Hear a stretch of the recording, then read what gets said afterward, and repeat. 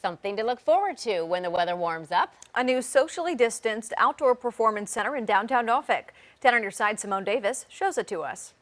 Hey guys, I'm here right in front of VAF and right across the street, that is where they're going to have their new outdoor venue. Here to tell us a little bit more about it, we have director Robert W. Cross. How are you? I'm doing great. It's good to see you again. I know. So last time I was here, you guys transformed the backyard right, right back there. And now you guys have this huge venue across the street. Tell me about the process of putting this all together.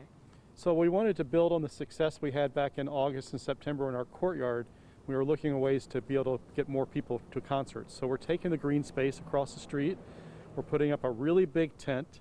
So with safe distancing and all the safety protocols, we can get 250 people under the tent. Oh, wow. Yeah, and I'm exciting. sure that's really exciting, right? exciting. Artists are really excited and hungry to work again.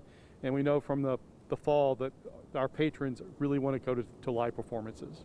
Oh, well, we're looking forward to it, and it kicks off in April. Now, we're going to have all of that information and how you can sign up and make sure that you get your tickets for all the programming they have in store right on wavy.com under that Living Local tab. I'm Symone Davis in Norfolk, 10 on your side.